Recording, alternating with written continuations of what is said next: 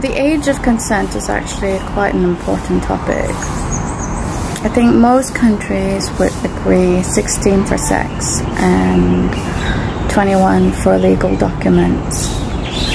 But you see, I have a problem. Like, shouldn't we be encouraging people to enjoy their childhood without having to resort to having sex for fun?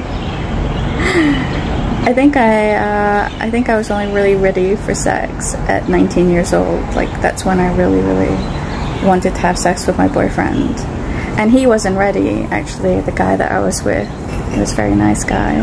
I think he was saving himself, and maybe he thought after I had sex with him, I might try to find another guy.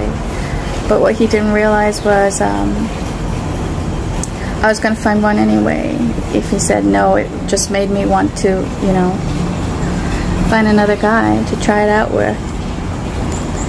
And uh, it's really sad, yeah, because hormonally, I think I was ready at 19 to have sex with someone. And he wasn't ready, he just wasn't, and he wasn't really uh, into the idea of having sex with someone before marriage and he wasn't even Catholic, but he went to a Catholic school anyway. Um, so yeah. Oh well, we live and learn. Yeah, but I think that um, if you put the age of consent at 16, there's some really crazy men out there who think that, oh, what if we can get someone at 15? Oh, what a thrill! What a thrill!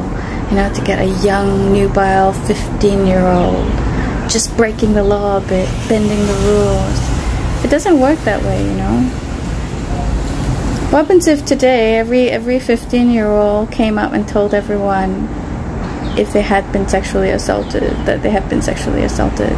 You'd be in a lot of problems and no matter how much of brainwashing or mind programming you gave that child, they're going to know that the right thing to do is to, you know, tell on you.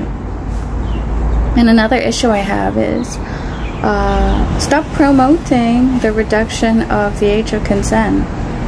If you have a nubile fetish, you need help. You don't you don't get to tell the whole of society to kowtow to you just because you have money and power. It doesn't work that way. At some breaking point, it just doesn't. Okay? Tomorrow might be nine year olds. Next day it might be a, a five year old. Next day it might be a two year old. What? Where does it stop?